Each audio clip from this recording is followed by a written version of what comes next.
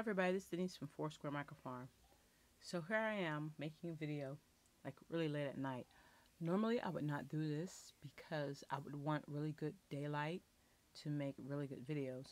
But I just came from a friend's house a couple hours ago and I was really excited and I wanted to go ahead and flick this out so that I can prep it for spinning even though I have tendonitis and I'm not supposed to be spinning anything. But I wanted to go ahead and get it started and uh, before I flick it out I figured I'd better get a little something of what it looks like prior to. Um, and so the, the reason why this is so special is that this will be the first fleece uh, for my fairy tales video. Um, and it's the series will be called Fairy Tales um, from the Knit Fairy Stash. And Knit Fairy, uh, known to us in real life as Nancy, she was Knit Fairy on Ravelry, passed away this year. And so those of us um, who were in her knitting circle uh, got together and we went through her stash, donating some yarns and fibers to places.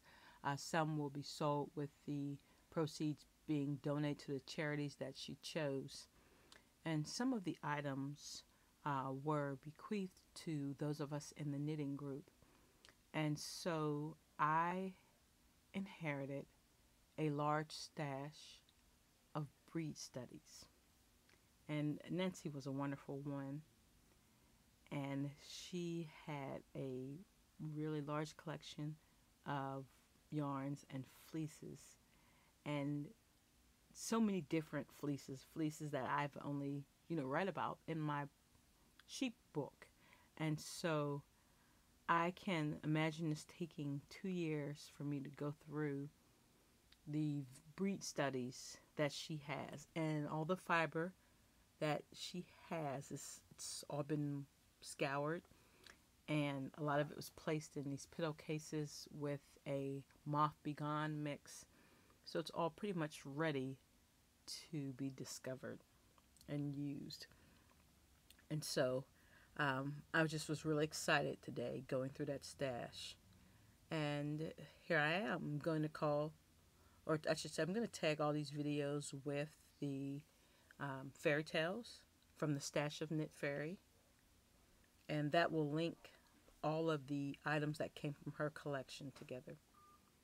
Now this particular fleece is labeled Gulf Coast and I've never worked with Gulf Coast fleece before and just by first impression it kind of gives me the feel of a softer down breed type and I, I automatically know just looking at the crimp and you can see that beautiful crimp. And the staple length that I am going to love it. Um, I have to apologize for my fingernails. I've been dyeing yarn for the past week and a half, especially since I'm not spinning because of the tendonitis. At some point, I'll probably learn to like paint my fingernails so you can't see the dye. Or what I should really do is wear gloves. But I always seem to forget that. So anyway, so sorry about that. All that like purple dye under my nails. Anyway, so I just wanted to, in this terrible light, go ahead and say that. And so you can see this fleece uh, raw. And I will go ahead and start my usual process of the video, taking out a section of this sample of the washed raw, placing it on the sample card. And I'll have this all flicked out and ready to spin. This is going to be a long breed study, or at least it's going to take a long time between the time I actually film it and the time I finish it because I have two different samples Gulf Coast Native and I want to spin them both. And so my first sample is from the stash of Knit Fairy Fairy Tales. So this one is already washed. And the second sample is from High Hog Farm. Let me share the picture. And this right here, here is uh, Gloria Bell. And Keisha from High Hog Farm participates in the Save 'em to Shave 'em, which is the livestock breed conservatory uh, push to use uh, wools that are on the um, conservatory list. So if you haven't gone over to the American Livestock Breed Conservatory page, travel on over there and check out the different livestocks that are um, under conservation. Uh, at one point, I was raising the silver fox, um, which were threatened, and so were the giant angoras. And so you can get a listing of the different breeds if you're interested in raising a breed that needs conservation. So, at any rate, um, you can reach her online or at Facebook, and I also believe on Instagram, uh, High Hog Farm. And I'll have that information um, in my description. Okay, so I've got four ounces of Gloria Bell, and I can't wait to spin her up. Okay, so I have my little cheat sheet here because it's late at night. And as I said, the Gulf Coast Native is on the critical uh, breeds list. Uh, it's a medium breed, uh, mostly for meat, and it's one of the oldest breeds in the U.S. Uh, the rams are 150 to 190 pounds. You use 100 to 140. The fleece is mostly white uh, to tan. Uh, it's an open fleece, which means that it's wool free on the faces, the legs, and the belly. Um, the fleece is roughly four to six pounds raw. Uh, micron count from 26 to 32, so it's variable.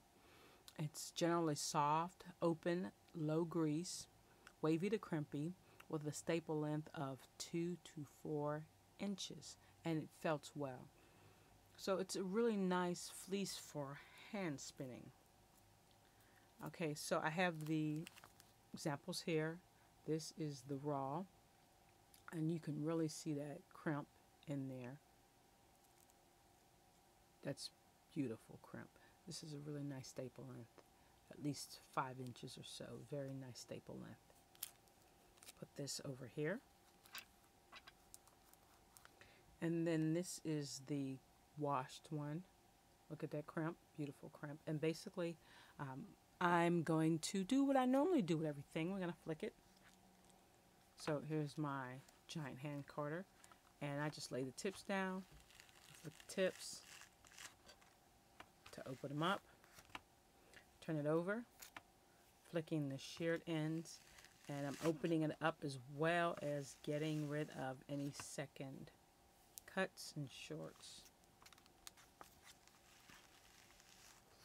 Okay, and you can see how it just fluffs out to beautiful springiness.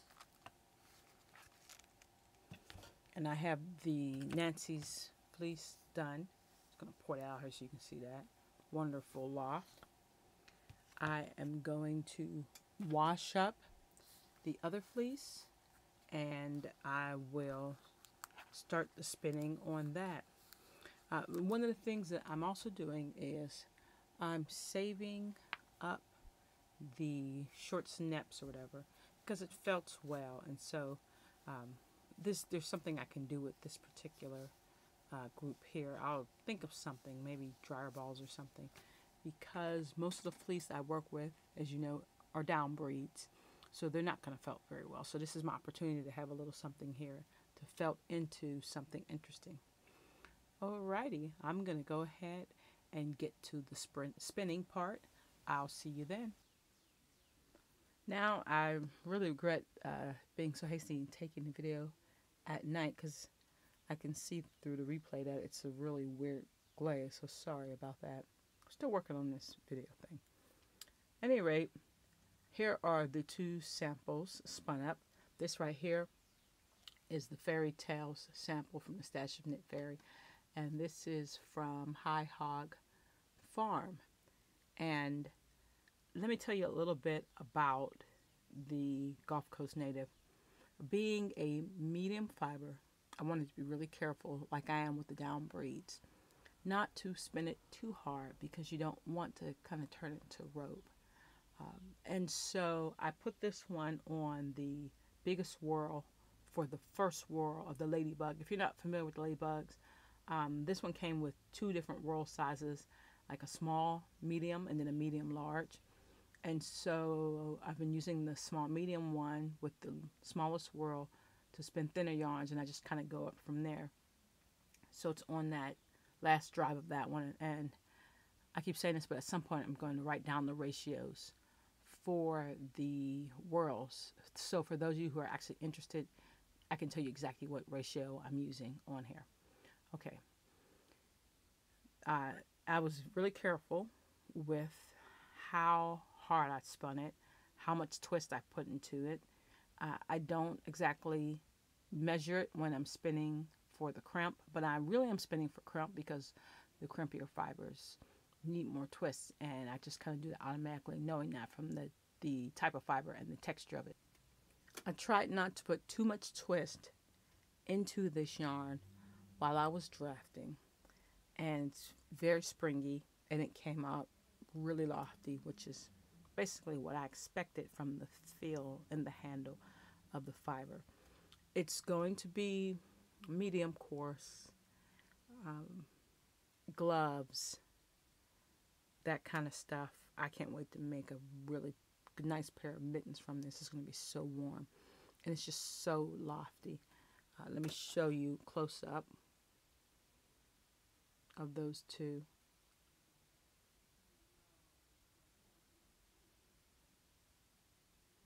Let me see if I can get this just a little bit brighter for you. Okay, so it's a little bit brighter and hopefully it doesn't affect what you're seeing too much. It's really nice. Now what I'm going to do is drop these two inside of a crock pot and uh, I think I'm gonna I'm gonna go ahead and dye them at the same time and then you'll have a good idea of how it takes up dyes. As a medium breed, I'm kind of expecting it to take up dyes a lot like the down breeds, but that may not be true because there's something particular about the down breed and the scales on the down breed that give them kind of a muted tone. And so that might not necessarily be true with the Gulf Coast native. So just putting that out there, I'm going to go ahead and decide what color I'm going to dye them and then go ahead and drop them in my, my thing is the um, whole um, Aztec gold, of course, and the Jacquard purple. So maybe I'll just go ahead and do the those two for this.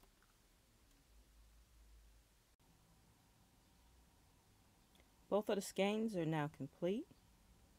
Gave them a little dye job, and here they are. I think they turned out really nicely.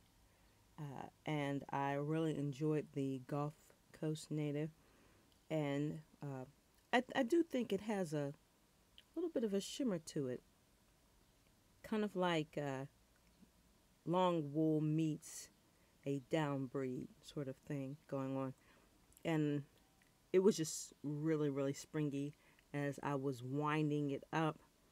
Uh, that felt really nice. It was incredible, and I can't wait to use it up. For now, it's going to go into my stash for something something nice in the future. Well, hopefully, uh, in your breed study journey, you'll get a chance to try out the Gulf Coast Native.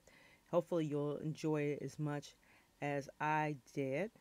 And hopefully, this video will be of some use to you. Thanks for watching. If you haven't subscribed yet, please do so. Share with a friend. Click the thumbs up button uh, and also the descriptions are, or the information on High Hog Farm is in the description box. So visit Keisha and uh, get some Gulf Coast native. Thanks a lot, everybody. Have a great day.